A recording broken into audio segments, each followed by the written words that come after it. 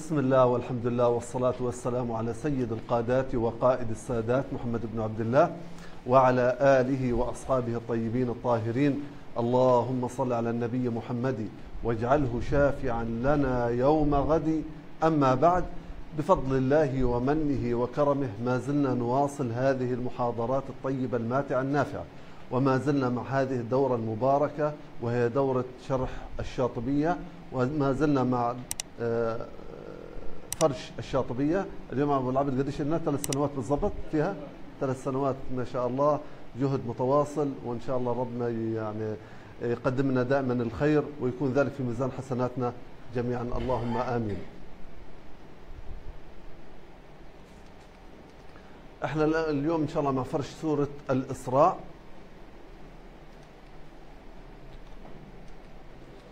يقول الناظم رحمه الله تعالى ويتخذ غيب حلا ليسوء نو نوراو وضم الهمز والمد عدلا. افتحوا لنا قوس من عند ويتخذ لحديث لعند حلا. الناظم يتحدث عن قوله تعالى ألا تتخذوا من دوني وكيلا. يقول ويتخذ غيب حلا. الحاء لمن؟ للبصري. قال هذه الكلمة تقرأ بالغيب لحلا. كيف ستقرأ له؟ ألا يتخذوا. طيب باقي القراء تتخذ بالخطاب. ثم قال ليسوء نون راو وضم الهمز والمد عدلا افتحوا لنا قوس من عند ليسوء وادخل على البيت ال الذي يليه. كملوا لنا الحديث سما. الكلمة التي تلي في البيت القادم أو الذي يليه كلمة سما هيها موجودة هنا. إذا إذا ليسوء نون راو وضم الهمز والمد عدلا سما وسكر القوس. الناظم يتحدث عن قوله تعالى فإذا جاء وعد الآخرة ليسوء وجوهكم. خليكم معي. قال ليسوء لفظ باللفظة ليسوء. قال النون بالنون يعني للراء للإمام الكسائي. إذا كيف ستقرأ؟ لنسوء. تمام؟ لنا سوء بالنون. ثم قال وضم الهمز والمد عدلا. إذا أول شيء الذي يقرأ بالنون هو الإمام الكسائي. باقي القراء بشكل عام سيقرأ بالياء. إذا عندنا ست قراء يقرأ بالياء وعندنا الإمام الكسائي يقرأ بالنون. تمام؟ الآن من تبقى أو القراء الذين يقرأوا بال بال بالياء قال وضم الهمز والمد عدلا سما. إذا المتبقين من القراء يقرأ بضم الهمز والمد. إذا مد ضمينا الهمزة ومديناها إيش راح تكون هذه المدة؟ عبارة عن إيش؟ لا مش مش نوعيته. هل هي واو أو ياء ولا ألف؟ واو. الله ينور عليك. لا نقول واو. واو. تمام؟ إذا هي واو. إذا ستقرأ ليسوء. وكما قال الشيخ فادي راح تكون من قبيل مد البدل. إذا قال وضم الهمز والمد. إذا تضم الهمزة ومد هذه الهمزة طب راح أمدها بماذا؟ هل أمدها بألف أم بواو أو بياء؟ قال ما دام إحنا ضمناها راح نمدها من جنسها اذا بالواو. تمام؟ اذا كيف ستقرأ للعين وسما؟ العين من هو؟ حفص. وسما الثلاثة الأوائل. اذا ستقرأ لأهل سما والإمام حفص ليسوءوا وجوهكم. تمام؟ طب من تبقى من القراء؟ من تبقى لاحظوا أهل سماء راحوا وحفص راح وعندنا الكسائي في الأول. إذا عندنا ابن عامر وشعبة وحمزة والكسائي. هؤلاء سيقرأوا بماذا؟ سيقرأوا بالياء. لكن هل سيقرأ بالضم وضم الهمزة؟ يقول لا. إذا كيف سيقرأ هؤلاء؟ ليسوء. إذا عندنا في هذه الكلمة ثلاث قراءات. القراءة الأولى لنسوء. مين؟ الكسائي الذي يقرأ بالنون. يعني لو أنا سمعت أي إنسان يقرأ بالنون على طول أذهب للكسائي ثم الإمام حفص وأهل سماء يقرأ ليسوء بضم الهمزة مع المد. باقي القراء بدون ضم الهمزة. لاحظوا كيف أنا طبعا طب كيف عرفت أنا باقي القراء؟ عكس الضم الفتح. وقال هنا والمد هناك بدون مد. إذا ليسوء. أعيدها ثاني كيف جبنا باقي القراء اللي هم مين؟ ابن عامر وشعبة والشين حمزة والكسائي. آه، عفوا حمزة فقط. كيف جبناهم؟ قال هنا ال ال الذين يقرأوا بالياء عندهم من يقرأ بضم الهمزة والمد العين والسماء. باقي القراء معناته عكس الضم الفتح وعكس المد عدم المد. إذا كيف سيقرأ؟ ليسوء. إذا الكسائي لنسوء. حمزة بن عامر. وشعبة ابن عامر وشعبة وحمزة ليسوء. باقي القراء حفص بمعنى حفص؟ وال- وأهل سماء ليسوءوا وجوهكم.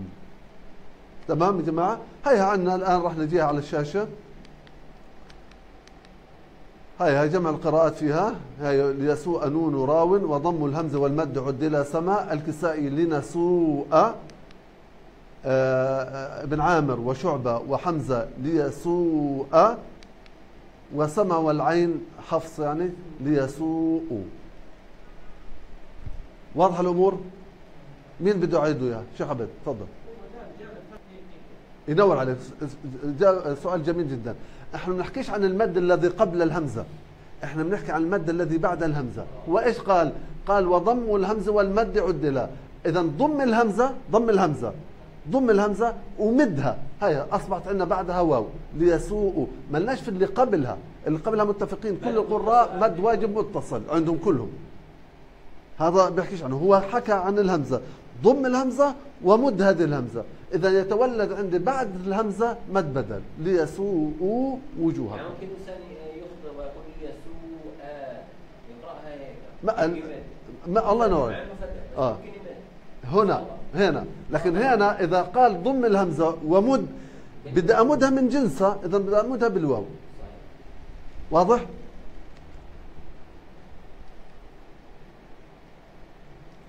هيا سمع خلصنا منه وسكرنا القوس ثم افتحنا قوس ويلقاه يضم مشددا كفى يب- يبلغن امدده واكسر شمردلة وإحنا إن شاء الله جايين باقي بس خلينا هنا. افتحوا لنا قوس من عند ويلقاه لحد لعند كفى النظم يتحدث عن قوله تعالى يوم القيامة كتابا يلقاه منشور الآية 13 قال ويلقاه يضم مشددا كفى. يلقاه بدنا نضمه بدنا نضم هذه الكلمة ونشددها. كيف ستقرأ؟ يلقاه يلقاه. يوم القيامة كتابا يلقاه. طيب. ماذا ما هو الذي يضم؟ حرف الياء. وما هو الحرف المشدد؟ هو القاف. إذا ستقرأ عند الإمام ابن عامر يلقاه. طيب باقي القراء. عكس الضم الفتح. وعكس التشديد التخفيف. يلقاه. الله ينور عليك. طبعا إذا إذا شددنا يلزم فتح اللام يلزم فتح اللام يلقاه. إذا شدد طب واحد نقول طب هو لم يتحدث عنها الناظم؟ لأنه تعودنا عليها. ومعروف هذا تلقائيا شيء طبيعي من مبادئ اللغة العربية أنه إذا كان الحرف مشدد الحرف الذي يسبق لابد أن يكون متحرك. ثم قال طبعا سكرنا قوس تحديد كفى. ثم قال يبلغن امدده واكسر شمردلة وكملوا من البيت اللي بعديه وعن كلهم شدد. وسكروا القوس. إذا نفتحوا لنا قوس من عند يبلغن وحديد شدد اغلقوا القوس. الناظم رحمه الله تعالى يتحدث عن قوله تعالى في الآية 23 إما يبلغن عندك الكبر أحدهما أو كلاهما. قال يبلغن امدده واكسر. طيب. امدد إيش؟ امدد الغين. واكسر ماذا؟ اكسر النون. إذا كيف ستقرأ؟ لمن لمن؟ طبعا للشين. إذا كيف ستقرأ لهم؟ يبلغاني. واحد بيقول لي أنا سمعتك شددت. كيف شددت؟ من وين جبت التشديد؟ لأنه قال وعن كلهم. عن كل مين؟ كل القراء. وعن كلهم شدد. إذا كل القراء سنشدد لهم. إذا الإمام حمزة والإمام الكسائي سيقرأ إما يبلغاني عندك الكبر. ستصبح من قبيل المد. الكلمي المثقل المد اللازم الكلمي المثقل طب باقي القراء بدون مد وبدون أو طبعا بدون مد وعكس الكسر فتح الفتح. إذا عند باقي القراء يبلغن عندك الكبر. يبلغن. طب هل النون مشددة؟ نقول نعم لأنه قال وعن كلهم شدد كل القراء سنشدد لهم. واضح هذه مد إحنا عندنا حمزة والكسائي يقرأ بالمد مع الكسر يبلغاني. باقي القراء لم يتحدث عنهم. بالضد عكس المد عدم المد. فيش ألف. وعكس الكسر الفتح. كيف ستقرأ؟ مع التشديد طبعا لأنه قال وعن كلهم شدد. إذا كل سيقرأ إيش؟ يبلغن عندك. ولو وقفنا عليها في كل الأحوال راح نشدد النون. يبلغان. هذا عند حمزة والكسائي وعند باقي القراء يبلغن هكذا. واضح؟ ثم قال وعن طبعا وعن كلهم شدد خلصنا منها.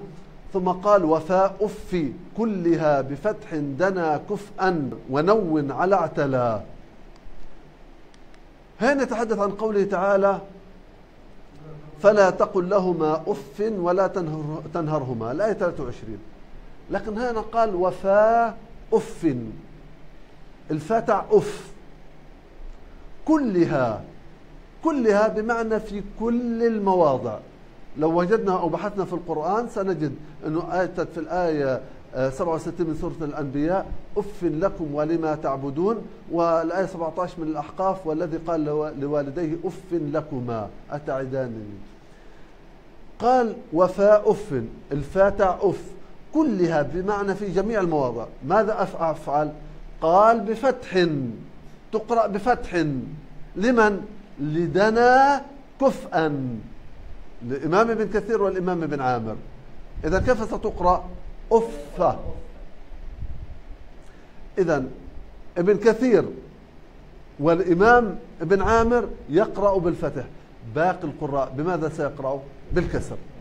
طلعوا هذا أول أول شيء عندي بهمني. إنه عندي من اثنين من القراء بيقرأوا بالفتح باقي القراء كلهم بيقرأوا بالكسر. بغض النظر هل هي منونة مش منونة أنا الآن مش معني. لكن أنا معني بماذا؟ إنه الجزء من القراء يقرأ بالفتح وجزء من القراء يقرأ بالكسر. كيف عرفت بالفتح؟ قال هنا بفتح. لمن؟ دنا كفءا. إذا ابن كثير وابن عامر يقرأ بالفتح. باقي القراء يقرأ بالكسر. ثم قال ونون على اعتلى اقرأ بالتنوين للعين حفص والهمزة اللي هو الإمام ابن آه، نافع.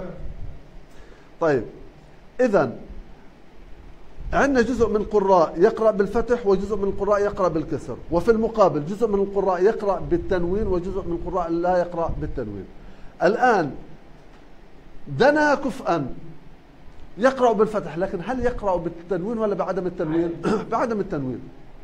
باقي القراء يقرأ بالكسر لكن منهم الإمام حفص والإمام نافع يقرأ بالتنوين. إذا فيها ثلاث قراءات. أف أف أفي. تمام؟ أف أف وأفي وأف هاي الثلاث قراءات. أعيد. الإمام ابن كثير وابن عامر يقرأ أف الإمام حفص والإمام نافع. أف باقي القراء أفي تمام؟ ثم قال الناظم وبالفتح والتحريك خطأ مصوب وحركه المكي ومد وجملا. افتحوا لنا قوس طبعا ما عند وبالفتح. وضعوا شرطة عند مصوب مصوب وتسكروا القوس. نهاية حديثنا عن هذا البيت. في وجملا. يتحدث الناظم عن قوله تعالى إن قتلهم كان خطأ كبيرا. الآية 31 من هذه السورة. قال وبالفتح والتحريك خطأ. بالفتح. بفتح ماذا؟ الخاء. إذا كيف ستقرأ؟ خاء. قال والتحريك. تحريك ماذا؟ تحريك الحرف الساكن اللي هو ماذا؟ اللي هو الطاء. إذا خطأ. لمن خطأ؟ قال مصوب. لمين؟ الميم ابن ذكوان. إذا كيف يقرأ الإمام ابن ذكوان؟ خطأ. تمام؟ كيف يقرأ؟ خطأ. كيف جبتها يا شيخ عبد الرحمن؟ قال وبالفتح. فتح ماذا؟ الحرف الأول اللي هو المكسور. فتحنا خاء ثم قال والتحريك. التحريك لماذا؟ للحرف الساكن. خطأ. لمن هذا مصوب؟ الإمام ابن ذكوان. إذا الإمام ابن ذكوان يقرأ خطأ. ثم قال وحركه المكي. ومد إذا. طبعا قبل ما ندخل على الإمام المكي باقي القراء كيف سيقرأوا. لا لا قبل. ثواني ثواني. عكس الف... ما إحنا أخذنا الإمام ابن ذكوان إنه يقرأ بالفتح والتحريك. باقي القراء بالكسر الخاء تمام؟ إذا خي خطا بكسر الخاء. قال وحركه الآن نأتي إلى المكي. قال وحركه المكي. الإمام ابن كثير يقرأ بتحريك هذا الحرف. تحريك ماذا؟ الطاء الساكنة. إذا يقرأ خطا. لما قال تحريك وسكت معناته إيش؟ بالفتح. أعيد مرة ثانية. قال وحركه المكي. ما إحنا لاحظوا يا جماعة قال والتح بالفتح والتحريك عكس الفتح ماذا الكسر يعني عندنا الإمام ابن ذكوان يقرأ بالفتح والتحريك خطأ باقي القراء يقرأ بالكسر تمام والإسكان بشكل عام هذا مبدئيا لكن هنا إيش قال قال وحركه المكي حرك الإسكان الموجود في هذه الكلمة إذا الإمام ابن كثير يتحدث الآن عنه عن ماذا عن أي حرف يتحدث عن حرف الطاء. الخاء خلص ثبتت الرؤية عليه. باقي القراء بكسر الخاء. إذا عندهم إيش باقي القراء؟ خي ثم قال وحركه المكي. عن ماذا يتحدث هنا؟ يتحدث عن الطاء. خي طاء قال ومد. إذا خي طاء إذا الإمام ابن كثير المكي كيف يقرأ؟ خطاء خطاء. كيف جبتها؟ عكس ال- ال- الشطر الأول من, هذا البيت. قال وبالفتح معناه باقي القراء بالكسر. تمام؟ والت- والتحريك معناه باقي القراء بالإسكان. هذا مبدئيا. ثم قال وحركه المكي. محرك ماذا؟ الحرف الساكن. إذا لكن الخاء بقيت على كسرها. إذا خي طاء لأنه قال حرك حرك الإمام المكي هذا الحرف اللي هو الطاء ثم قال ومد أيضا لم يكتفي بالتحريك زاد عليه أيضا إيش؟ المد. إذا خي طاء طب باقي القراء معنى ذلك عكس هذا الأمر إذا خطأ كبيرا. حتى لو آه لكن هنا مو يعني ممكن إنه يعني آه. اعيدها اعيدها على السبورة ولا واضحة؟ مين اعيدها؟ تمام اذا عندنا ثلاث قراءات القراءة الأولى الإمام آه، آه، ابن ذكوان يقرأ خطأ كبيرة تمام باقي القر أو الإمام آه، ابن كثير المكي يقرأ خطاء كبيرة وباقي القراء خطأ كبيرة واضحة؟ إذا عند الإمام ابن كثير ستصبح من قبيل المد الواجب آه، المد الواجب المتصل. هيها موجودة أمامنا. ابن ذكوان خطأ. ابن كثير خطاء. وهي الألف الخنجرية عليها المد؟ خطاء. إيه؟ آه لو ضفنا عليها مد مد عوض مش مددة. مد العوض نعم. وباقي القراء خطأ كبيرا كلهم يقف عليه مد العوض. ثم قال وخاطب في يسرف في يسرف شهود وضمنا بحرفيه بالقسطاس كسر شذا على. افتحوا لنا قوس من عند وخاطب لحديث شهود. نتحدث الآن عن الآية 33 فلا يسرف في القتل إنه كان منصورا. قال وخاطب بالخطاب في يسرف للشين شهود. إذا كيف ستقرأ؟ فلا تسرف. باقي القراء كيف سيقرأوا؟ بالغيب فلا يسرف. إذا ال- ال- الإمام حمزة والإمام الكسائي سيقرأ ماذا فلا تسرف في القتل. باقي القراء فلا يسرف في القتل. ثم قال وضمنا بحرفيه بالقصاص كسر شدا على يتحدث عن قوله تعالى في الآية 35 وزنوا بالقسطاس المستقيم. قال وضمنا بحرفيه. إذا في عندنا حرفين مكانين موضعين. ما هما؟ هاي الموضع اللي إحنا عنا هذا في هذه الصورة اللي في الإسراء وموضع آخر في الآية 182 من الشعراء وزنوا بالقص بالقصاص المستقيم. قال وضمنا بحرفيه بالقسطاس إذا بالحرفين بالموضعين. تاع القسطاس قال وكأنه يقول ضمنا اكسر. اكسر الضم. كيف ست... لمن؟ لشذا على. الشين من حمزة والكسائي والعين حفص. إذا كيف ستقرأ لهؤلاء الثلاثة؟ بالقسطاس بكسر القاف. طيب لماذا قال وضمنا كسر؟ لأنه لم لو لم يذكر الضم لفتحنا القاف. لكن هنا أراد أنه. بعض القراء يقرأ بالضم وبعضهم يقرأ بالكسر. لذلك قال وضمنا كسر. وضمنا كسر. إذا جزء منهم يقرأ بالضم وجزء منهم ما يقرأ بالكسر. من الذي يقرأ بالكسر؟ شذا على. باقي القراء يقرأ بإيش؟ بالضم. واضح هذه النقطة؟ أعيدها.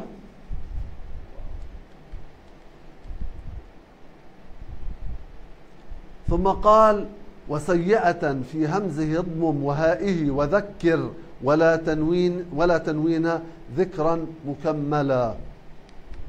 يتحدث الناظم عن قوله تعالى الآية 38 كل ذلك كان سيئه عند ربك مكروها. قال وسيئة لفظنا بها لفظ بهذا اللفظ قال سيئة في همزه اضمم بدنا نضم الهمزة. إذا كيف ستقرأ؟ سي سي سي أو. بضم الهمزة. سي أو. قال وهائه أيضا أضمم. الهاء سيئه وذكر.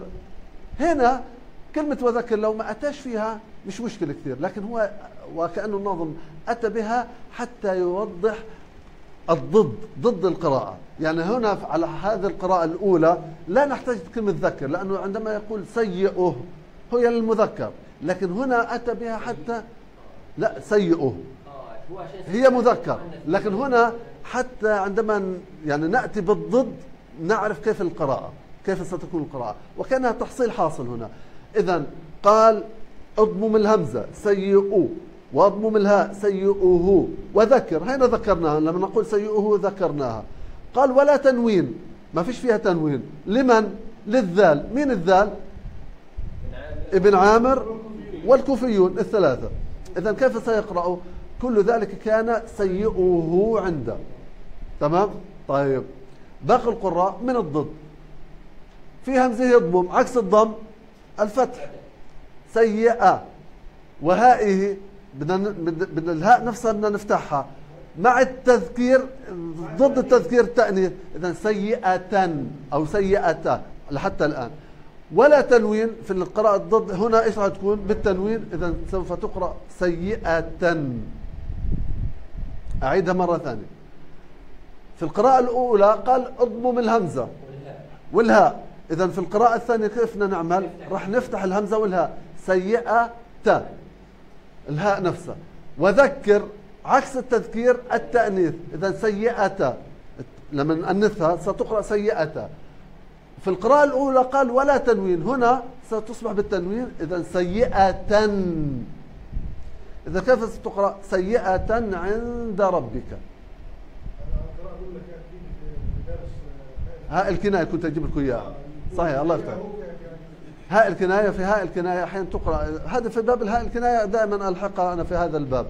لأنه عند مثلا هنا عند غير الذال غير الذال هي ليست من قبيل هاء الكناية أهل سما. لكن عند الذال تعتبر من قبيل هاء الكناية. وضحت ولا عيدها؟ ما هو هنا. الله يفتح عليك. سؤال جميل. هنا عندما قال في اضمم الهمزة سيئوا والهاء سيئوه وذكرها سيئوه. يعني يعني عندما نذكر هذه الكلمة سيئوه. إذا من هذه القراءة أخذناها. ولا تنوين مش راح ننونها. إذا كيف ستقرأ؟ سيئوه طب الضد. هيا قلنا ضم الهاء. وقبلها كان ضم الهمزة. والتذكير. والتنوين. هنا عكس الضم الفتح. وهنا برضو عكس الضم الفتح. وعكس التذكير التأنيث. وعكس التنوين عدم التنوين.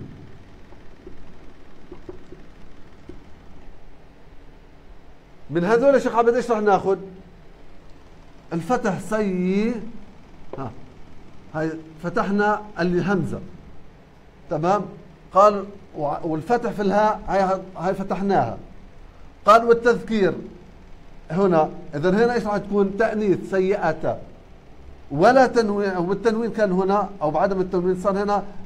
هنا كان التنوين راح تكون هنا بالتنوين سيئة. لأنه هنا الأكثر نكون هنا عدم التنوين وهنا التنوين.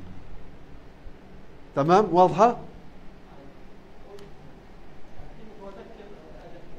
ما هو بال... أنا إيش حكيت قبل؟ قلت هنا كانت في القراءة الأولى مش محتاجينها كثير كلمة وذكر لكن احتجناها في الضد. لذلك أتى فيها. يعني هو لو على القراءة الأولى لم يأتي بكلمه وذكر هيك هيك راح نقرا وسيئه. سيئه. تمام؟ هيك هيك راح نقرا لكن لماذا جابها هنا أو اتانا بكلمه وذكر حتى عندما نأتي بالضد نأتي بالتأنيث. نقرأ سيئة. وضحت؟ هذه كانت عشان الضد. لكن التنوين والضم الهمزة وضم الهاء محتاجينها في القراءة الأولى طبعا وفي الثانية للضد.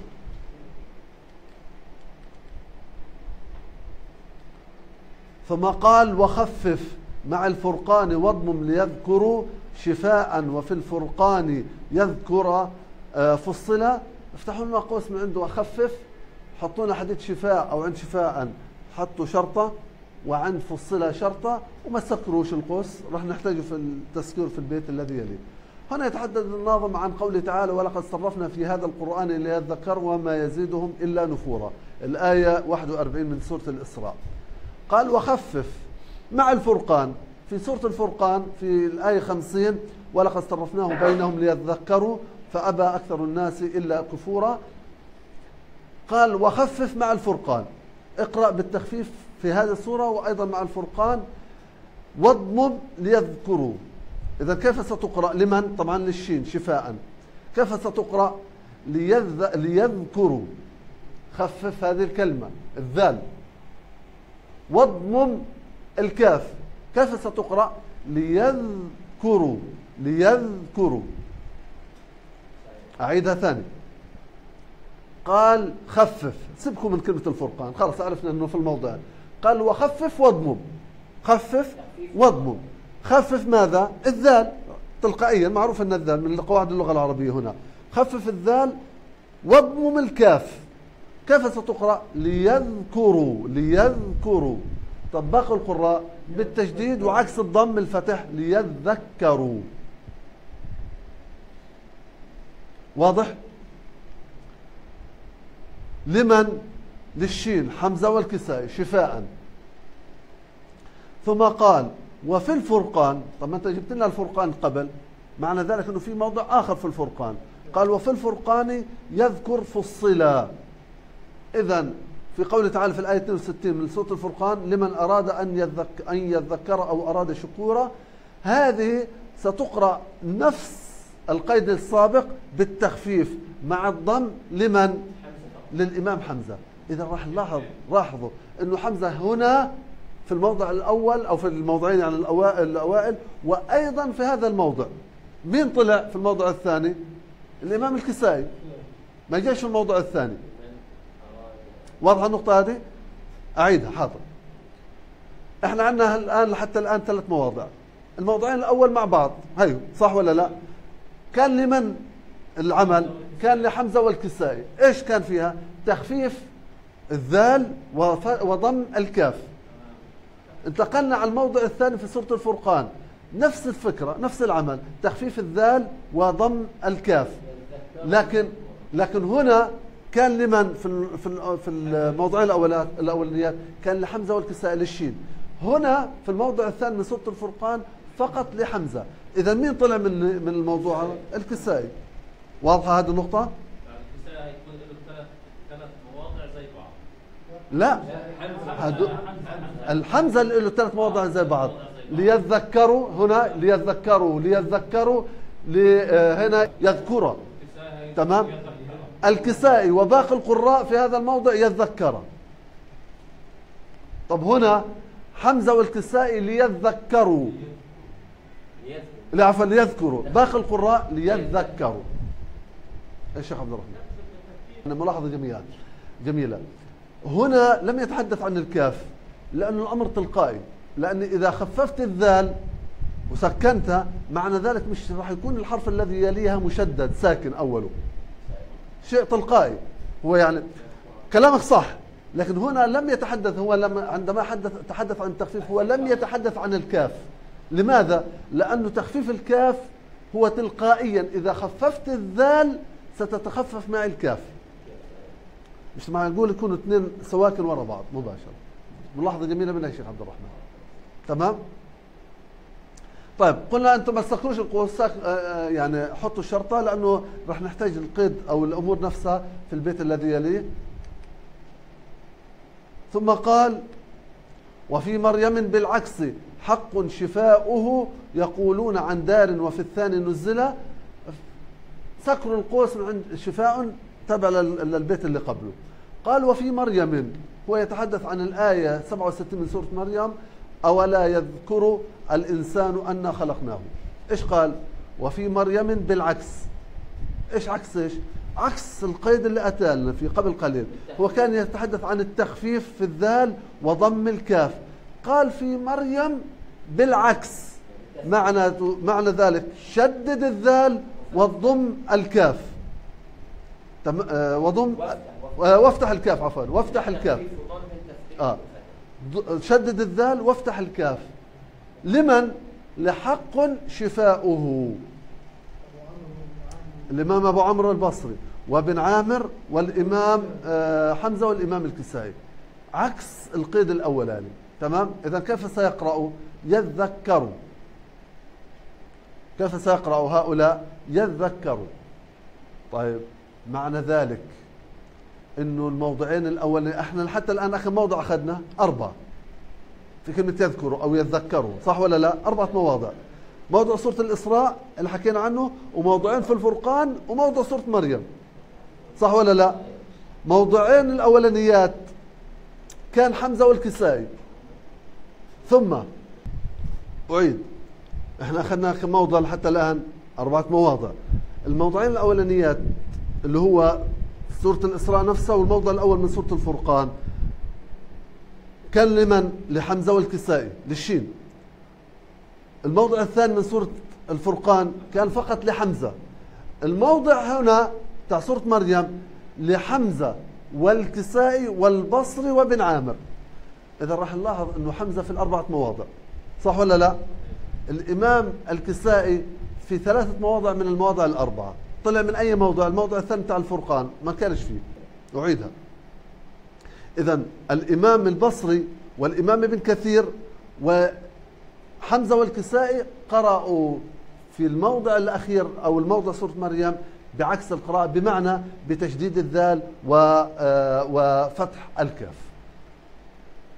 واضح مشايخ؟ تمام. ثم قال يقولون عن دار وفي الثاني نزلا وافتحوا لنا قو- أو كملوا لسما كفل- كفله من البيت الذي يليه. وسكروا القوس. افتحوا القوس من عند يقولون وسكروا القوس في البيت الذي يليه سما كفله. تمام؟ هو يتحدث الآن عن قو- قوله تعالى قل لو كان معه آلهة كما يقولون إذا لابتغوا إلى ذي العرش سبيلا. قال يقولون عن دار عن دار. الإمام حفص والإمام ابن كثير يقرأ كما يقولون. إذا بماذا يقرأ؟ الغيب بالغيب. باقي القراء بالخطاب كما تقولون. تمام؟ إذا حفص والإمام ابن كثير يقرأ في هذا الموضع بالخطاب بالغيب كما يقولون. باقي القراء يقرأ بإيش؟ بالخطاب. طيب. قال وفي الثاني في الموضع الثاني من قوله تعالى في الآية التي تليها سبحانه وتعالى عما يقولون علوا كبيرا. نفس الفكرة ونفس القيد. الإمام عاصم والإمام آه، ابن عامر وأهل سما يقرأ, يقرأ بنفس الفكرة. يقرأ كما يقولون بمعنى بالغيب لهم وباقي القراء يقرأ بالخطاب.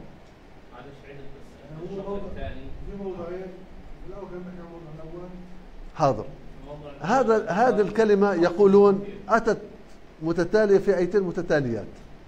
الآية الأولى اللي هي 42 والآية الموضوع الثاني في الآية 43 من سورة الإسراء نفس اللي إحنا فيها. تمام؟ قال يقولون عن دار. إيش اللي عرفنا إنه بيتحدث عن الموضع الأول مش الموضع الثاني؟ لأنه بعد قليل قال وفي الثاني إذا هو كان يتحدث عن الأول. تمام؟ قال ماذا؟ يقولون عن دار. اذا الإمام حفص والإمام ابن كثير كيف يقرأوها؟ كما يقولون بالغيب. هو لفظ بها ولو لم يلفظ بها كان أخذناها من آه، يعني اطلاقها إذا كيف ستقرا بالغيب. كما يقولون طب باقي القراء كيف سيقرأوها؟ بالخطاب. اذا الموضع الأول حفص والإمام ابن كثير يقرأوها بالغيب باقي القراء يقرأوها بالخطاب. كيف حفص يقرأها؟ كما يقولون وابن كثير كما يقولون. باقي القراء كما تقولون. انتهينا من الموضع الأول؟ تمام؟ الآن ننتقل على الموضع الثاني. قال وفي الثاني نزل سما كفله. إذا في الموضع الثاني من الذي يقرأ بالغيب؟ نزل نون وسما والكاف. كلهم إذا كل القراء ما عدا الشين. الله يفتح عليك. كل القراء ما عدا الشين. يقرأ بماذا؟ بالغيب. يقرأ بالغيب. تمام؟ من ذلك نكتشف ماذا؟ إنه الشين يقرأ الموضعين بالخطاب. والإمام حفص والإمام ابن كثير يقرأ الموضعين بالغيب. باقي القراء تأرجحوا يقرأ الأول بال بالخطاب وبالغيب عفوا بالخطاب والثاني بالغيب. هيا الآن موجودة أمامنا راح تكون على الشاشة. شوفوا كيف. هيا تلخيص ما سبق في قوله تعالى يقولون. يقولون عن دار وفي الثاني نزلها سما كفله. هيو. ابن كثير وحفص بالغيب في الموضعين. ونافع والب... طبعا باقي القراء بالخطاب في الموضع الثاني في الموضع الأول. لكن راح نرى أنهم يختلفوا في الموضع الثاني. إذا عندنا نافع والبصري وابن عامر وشعبة بالخطاب في الأول والغيب في الثاني. طيب حمزة والكسائي بالخطاب في الموضعين أعيدها عندما قال يقولون عن دار. الموضع الأول الذي يقرأ بالغيب هو الإمام حفص والإمام ابن كثير. باقي القراء بالخطاب في الموضع الأول. ثم انتقل قال وفي الثاني نزل سما كفله الذي يقرأ بالغيب. في الموضع الثاني عاصم وأهل سما والإمام ابن عامر. يتحصل من ذلك أنه ابن كثير وحفص يقرأ بالغيب في الموضعين ونافع والبصر وابن عامر وشعبة بالخطاب في الأول والغيب في الثاني وحمزة والكسائي بالخطاب في الموضعين. إذا في عندنا قراء يقرأوا بالخطاب في الموضعين حمزة والكسائي وقراء يقرأوا بالغيب في الموضعين ابن كثير والإمام حفص وباقي القراء تأرجحوا. يقرأ الأول بالخطاب آه، بالخطاب آه، ال- الأول بالخطاب والثاني بالغيب. تمام؟ واضح ولا عيدها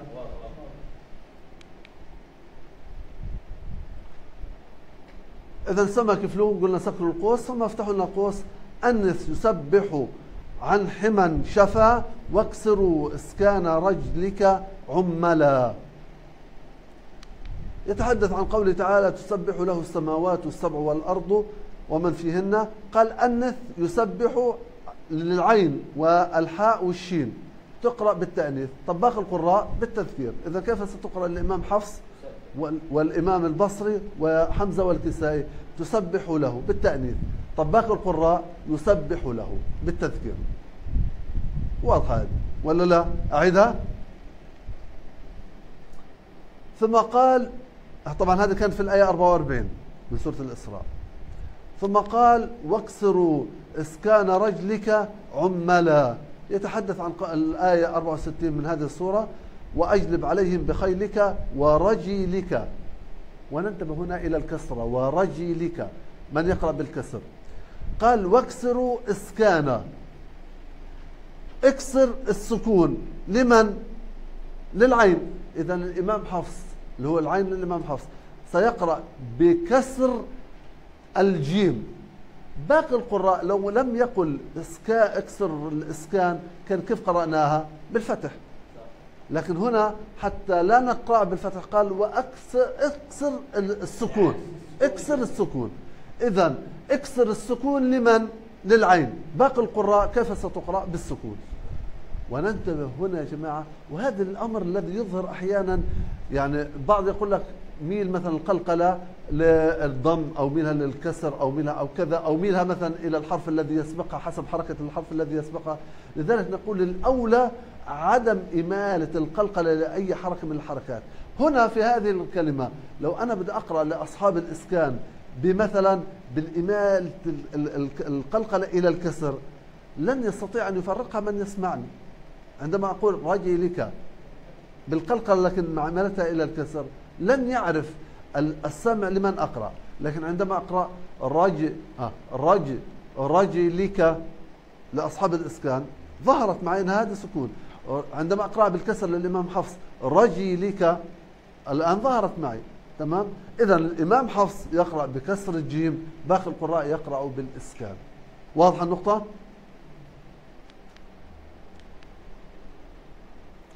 ثم قال ويخسف حق نونه ويعيدكم فيغرقكم, فيغرقكم واثنان يرسل يرسلا.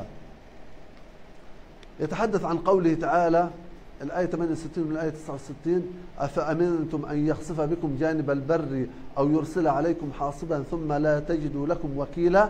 أم أمنتم أن يعيدكم فيه تارة أخرى فيرسل عليكم قاصفا من الريح فيغرقكم بما كفرتم؟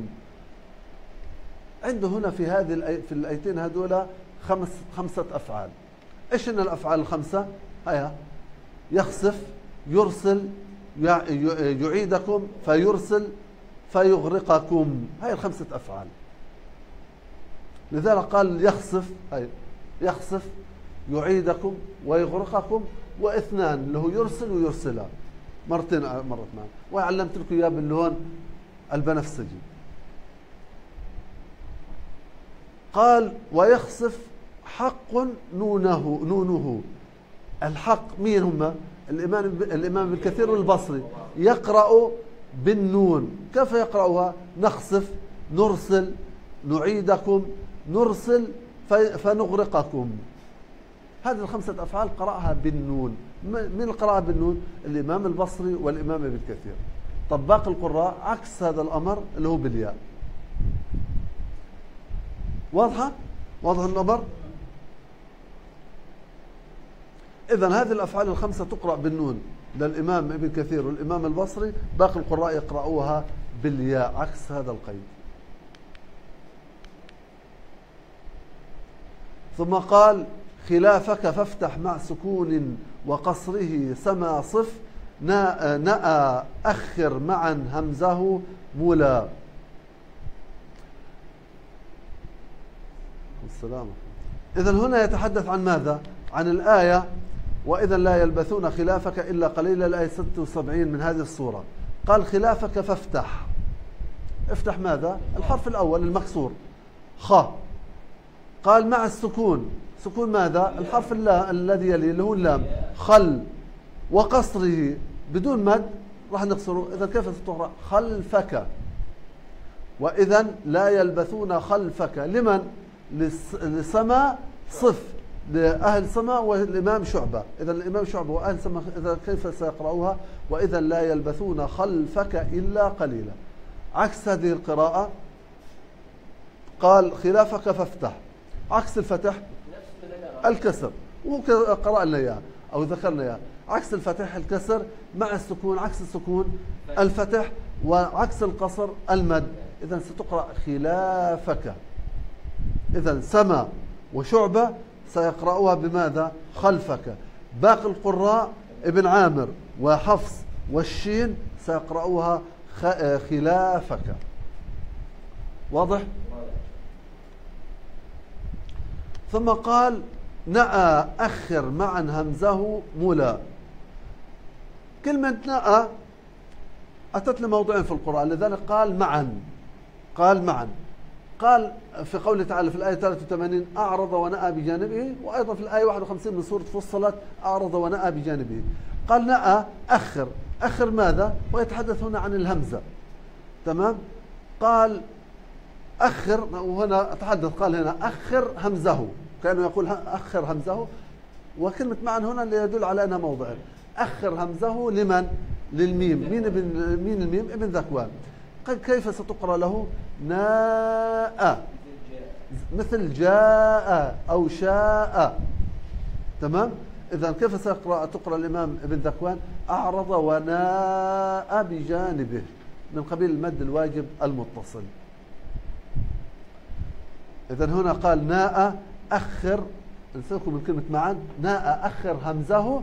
أخرنا الهمزة اللي بعد الألف. لمن؟ للميم ابن ذكوان.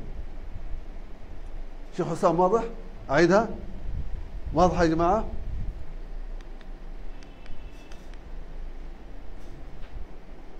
ثم قال تفجر في الأولى كتقتل ثابت وعم ندى كسفا بتحريكه ولا افتحوا لنا قوس من أن تفجر الحديث ثابت قال حتى في قوله تعالى الآية 90 حتى تفجر لنا في من الأرض ينبوعا قال تفجر في الأولى كلمة تفجر يعني هذه الكلمة جاءت في موضعين متتاليات متتاليات في القرآن. الموضع الأول هو الآية 90 قال تفجر في الأولى الموضع الأول كتقتل. على وزن تقتل كيف ستقرأ؟ تفجر. تقتل تفجر. لمن؟ للثاء. من الثاء؟ الكوفيون. إذا سوف تقرأ لهم حتى تفجر لنا من, من الأرض. على وزن تقتل تفجر على وزن تقتل. طب باقي القراء كما لفظنا إياها تفجر حتى تفجر لنا. طب عندما قال الأولى الآن هو في الموضع الذي يليه اللي هو فتفجر الأنهار خلالها تفجيرا هذه القراء كلهم اتفقوا على تشديدها هكذا فتفجر الأنهار. إذا القراء اتفقوا على في الموضع الثاني لكن اختلفوا في الموضع الأول. بعضهم اللي هم الثاء اللي هم الكوفيون إيش قرأوا؟ قرأوا على وزن تقتل تفجر. باقي القراء تفجر. طب الموضع الثاني الكوفيون وغير الكوفيون كلهم اتفقوا على إيش؟ حتى فتفجر الأنهار. اتفقوا على نفس اللفظة. سبحان الله من جميل ما هو لو بده يجيب هيك بده ثلاث أربع أبيات. وهنا حاول يحاول هو الاختصار. كلام الشيخ فادي مزبوط هو لو بده يقول لك افتح كذا وشدد كذا واعمل كذا راح تاخذ معاه بيتين أو ثلاثة. بيجيب أحيانا بيجي ما هو أحيانا هو هي بتوافق. قال وعم ندى.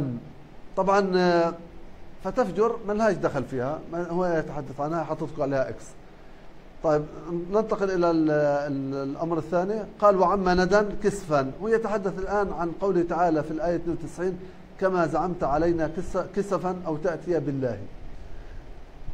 هذا الموضع قال وعم ندى كسفا بتحريكه. تقرأ بتحريك.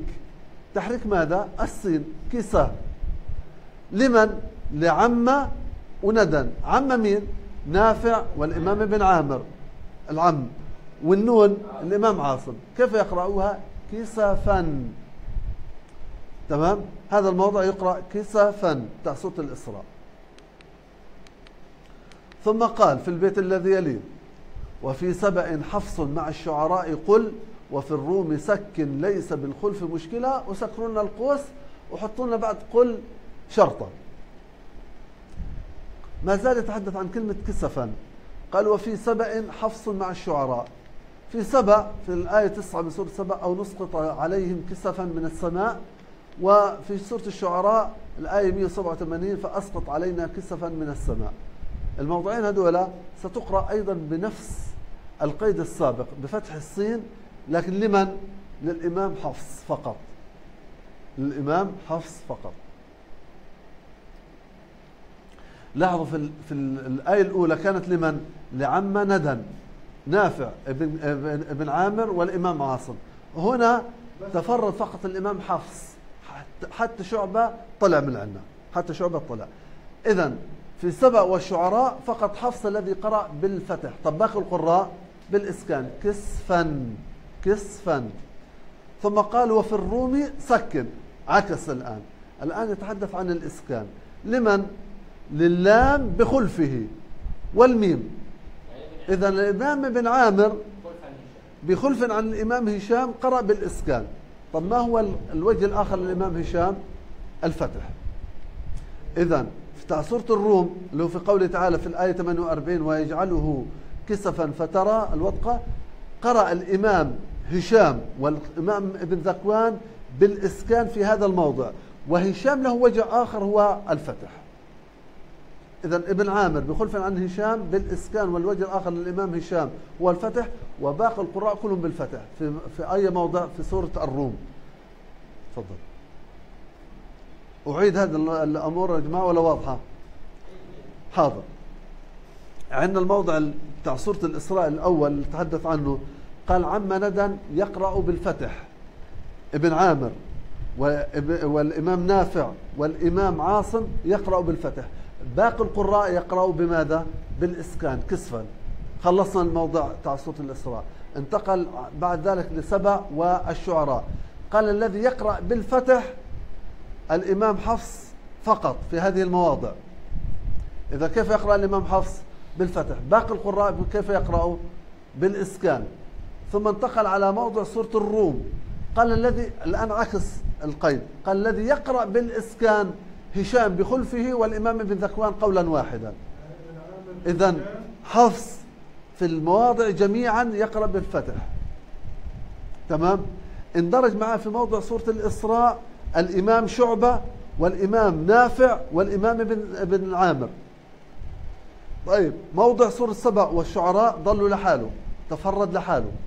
موضع سورة الروم حفص ونافع والإمام ابن كثير والإمام البصري وهشام بأحد وجهيه والشين كلهم قرأوا وشعبة قرأوا بالفتح.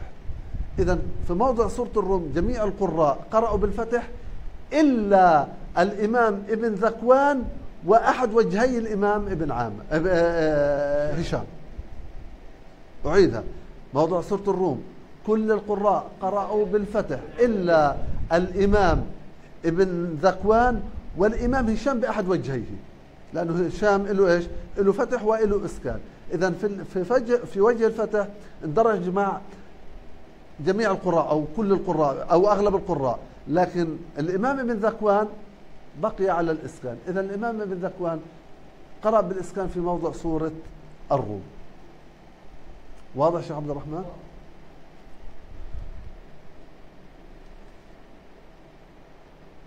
ثم قال وقل البيت الأخير وقل قال الأو- الأولى كيف دار؟ وض- وضم تاء عملت رضا والياء في ربي انجلى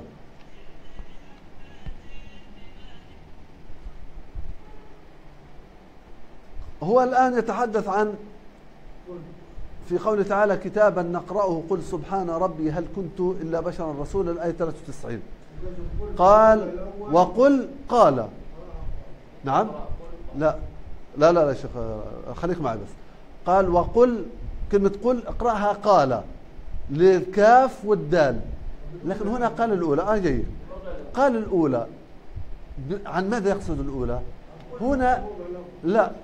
لأنه لاحظوا كلمة قل تكررت في القرآن كثيرا. حتى في سورة الإسراء. وقال أيضا تكررت. تمام؟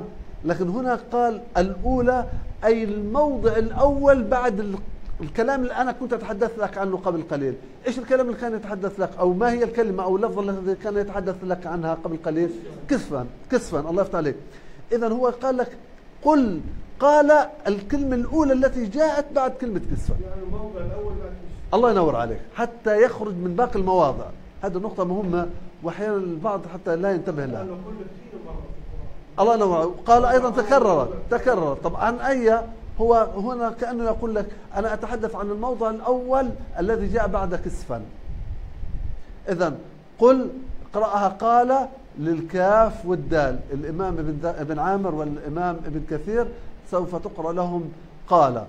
إذا قال سبحان ربي باقي القراء قل سبحان ربي. ثم قال وضمتا عملت رضا. في قوله تعالى في الآية 102 قال لقد علمت ما أنزل هؤلاء إلا. قال وضم التاء تاعت عملت. إذا كيف ستقرأ؟ قال لقد علمت ما أنزل. لمن؟ للإمام الكسائي. للإمام الكسائي. ثم قال والياء في ربي انجلى هذه سنجد أنه في من ياءات الإضافة فقط ياء واحدة في القرآن في سورة الإسراء. هي والياء في ربي انجلى في قوله تعالى في الايه 100 قل لو أنتم تملكون خزائن رحمه رحمة ربي اذا لأمسكتم. عندنا همزه ياء إضافة بعد همزة مكسورة بفتح أولي حكم. نافع والامام البصري يقرأوها بالفتح. ربي اذا وباقي القراء ربي اذا مع الانتباه للمد الجائز المنفصل. واضح أبو أحمد؟ بهيك إحنا بنكون انتهينا من لقاء اليوم. مين عنده سؤال أو استفسار؟ واضحه الأمور؟ واضح إن شاء الله. طيب. يعني أنا أيضا اكرر إنه أنا سعيد اليوم اليوم جدا لما حكى لي ابو العبد وذكرنا انه اليوم لنا بالضبط ثلاث سنوات في شرح الشاطبية أسأل الله إنه ييسر لنا الأمور أكثر وأكثر بإذن الله تعالى. في حدا عنده سؤال في اللقاء اليوم؟ طيب اذا في نهاية هذه المحاضرة لا يسعني إلا أن أقول والحمد لله لها ختام ثم الصلاة بعد والسلام على النبي المصطفى وآله وصحبه وتابعي من واله والسلام عليكم ورحمة الله وبركاته.